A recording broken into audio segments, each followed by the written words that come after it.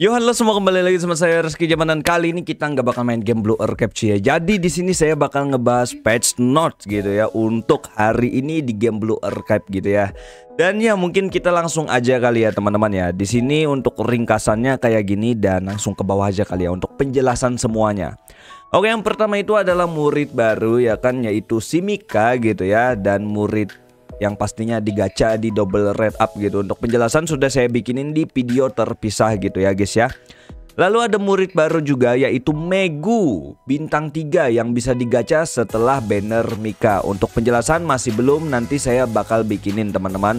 Dan lanjut ada murid baru lagi yaitu Kana bareng sama Megu teman-teman dan dia murid yang digacha juga gitu ya dan setelah banner Mika juga untuk penjelasan nanti saya bikinin di video terpisah gitu ya. Oke itu dia tiga murid baru.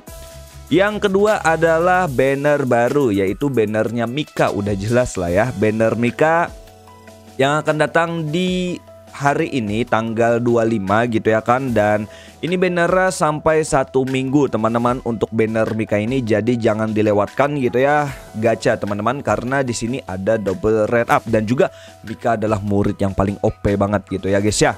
Dan ada banner baru lagi yaitu bannernya Megu dan juga karena setelah banner Mika di tanggal 1 nanti mereka bakal keluar gitu ya guys ya dan untuk penjelasannya nanti ya saya bikinin nanti lah ya guys ya. Yang keempat adalah main story update gitu cuy. Jadi buat kalian yang pengen ngeliat story terakhir di season 1 Blue Earth ya kan, ini udah saatnya gitu cuy ya.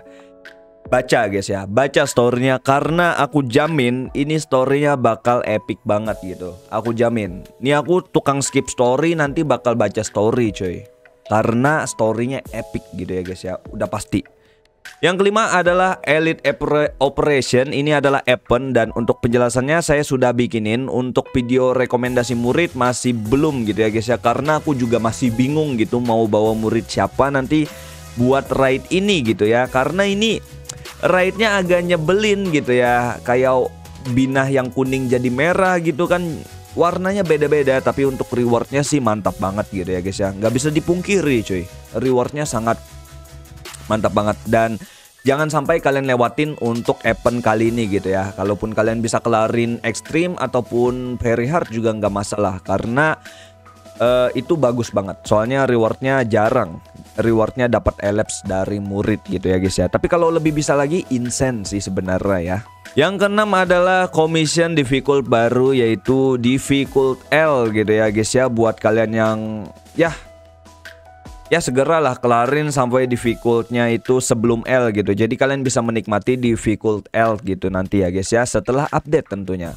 Yang ketujuh ada unik item baru yaitu Neru, Shiroko, Junko dan juga Sujumi. Wow, buat yang belum tahu unik item itu adalah uh, equip yang bisa kalian dapetin dengan syarat muridnya itu harus bond 20 gitu ya. Dan gak semua semua murid itu punya unique item, hanya ada beberapa doang. Dan ini baru update Neru, Shiroko, Junko dan juga Sujumi, gitu ya guys ya. Jadi ya kalau kalian punya muridnya dan bondnya udah pada 20 ya kan kalian bisa langsung ngambil equip tier 2 itu teman-teman. Equip tier 2 lagi. Unique item sorry. Dan yang ke-8 adalah max level ditingkatin yang dari level 83 jadi level 85 gitu ya guys ya. Buat kalian yang udah max XP untuk level 83 kalian perlu satu XP aja untuk ke 84 dan ya kita gampang banget sih untuk ke 85 pastinya cepat lah ya. Harusnya secepat sih, nggak mungkin lambat gitu cuy. Yang kesembilan adalah uh, quest baru, neutas baru gitu ya guys ya. Ada quest achievement ada main story, ada achievement skill, ada achievement earning and konsumsi kredit dan juga ya banyak lah ya untuk questnya ini dan udah pasti berhadiahkan pyro gitu cuy. Jadi ya pas login kayaknya udah bisa langsung klaim-klaim aja sih menurutku pribadi kayak gitu ya guys ya. Yang ke-10 adalah content shop update teman-teman. Nah untuk Eligma 2 dan Bounty Shop Repress dan untuk expert permit juga di reset. Yah, telat lagi kocak. Buat kalian yang belum tukerin expert permit ya sabar aja ya guys ya karena ini udah di reset gitu ya guys dan kalian bisa ngebeli lagi setelah maintain gitu di restock ulang lah ya intinya yang ke-11 adalah item buat Sultan gitu ya Buat kalian yang pengen nge-support game Blue Archive gitu. Kalian bisa aja beli packs-packs yang udah disediain gitu Dan ini packsnya lumayan worth it lah ya Buat yang banyak uang gitu ya guys ya. Lalu ada Pyroxene Pack Update. Wow ini kalian bisa ngebeli Wih ini pendapatan P oh, oh ya Pyro yang didapetin itu lebih meningkat lagi loh guys tuh dari 3200 jadi 3900 wow ada 8000 pyroxene wow. Ya buat kalian yang mau menyupport gamenya kalian bisa beli aja gitu ya guys ya. Buat yang F2P ya kan kita cuma teguk liurnya doang gitu kayak udah gitu ya ke bawah lagi.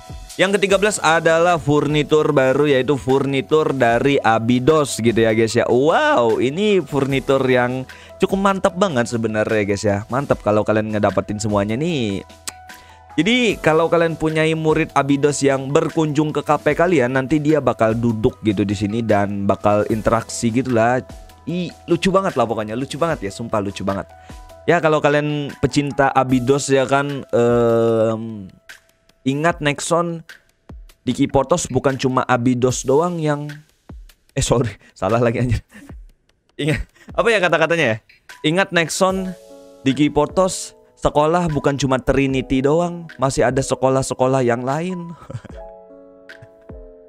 Oke deh kita ke bawah ya guys ya 14 adalah New Interaction Furniture Yaitu si Mika udah jelas Terus si Megu Lah karena mana ya? Karena nggak ada ya? Wow cuman dua doang guys ya yang ke-15 adalah Neo Crab item gitu, Neonos dan furnitur box item ditambahkan. Nih, ya furnitur terbaru lah ya ditambahkan di crafting gitu ya guys ya. Ya Ya gitulah untuk crafting ini teman-teman. Yang ke-16 adalah login bonus. Wow. Kita ngedapatin 10 kali multi dan juga single tiket sebanyak 1 2 3 4 5 6 7 8 9 9 single tiket dan satu multi tiket. Wow, bisa 19 kali full, lumayan gak sih cuy ya? Belum dihitung dari bansos yang lain-lainnya gitu ya. Baik banget memang cok.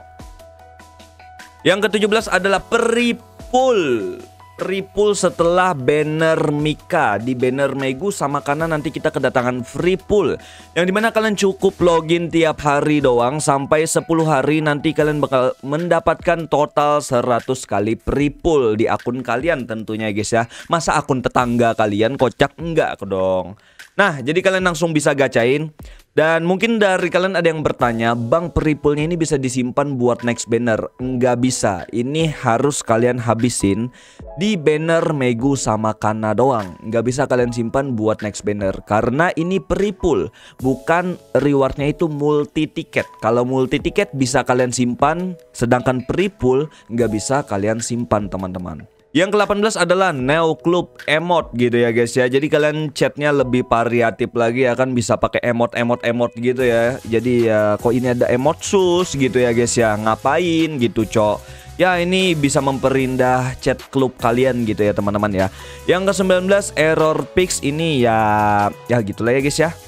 Yang ke-20 adalah Triple Reward ya guys ya. Triple Drop gitu cuy yang pertama ada di Bounty dari tanggal 24 ya tanggal 24 hari ini lah ya hari ini teman-teman sampai satu minggu ada di Bonti sama commission. Jadi kalian bisa ngabisin uh, energi atau apa yang kalian di commission lebih rekomend lanjut nanti di tanggal 31 kita kedatangan triple drop lagi untuk lesson dan juga scrimmage gitu cuy ya. Wow lesson dan scrimmage kalian bisa dapat triple drop.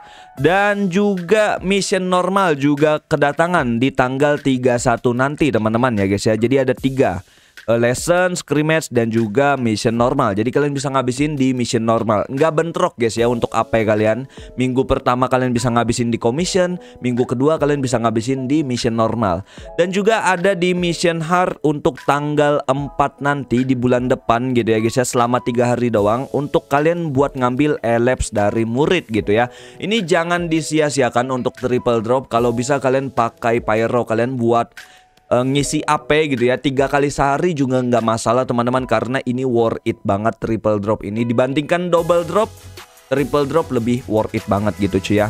Yang ketujuh adalah oke okay, yang terakhir itu adalah double account XP yang di mana datang cuman dua hari ya di tanggal 28 sampai tanggal 30 sama tanggal 4 sampai tanggal 6 bulan depan untuk 28 sampai 30-nya itu bulan ini gitu cuy. Jadi kalian itu ngabisin energi bakal dikali dua untuk pendapatan XP akun ya XP akun kalian. Dan ini worth it banget buat pemain baru ya guys ya.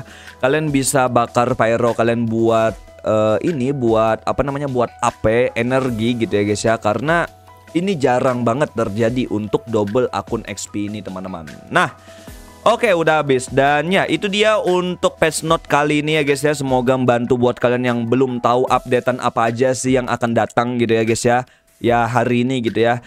Dan inilah untuk updateannya. Semoga membantu dan semangat buat gacanya. Semoga kalian hoki gacanya teman-teman ya guys ya. Dapat banyak murid bintang 3 nanti setelah update dan Semoga server nggak meleduk ya guys ya.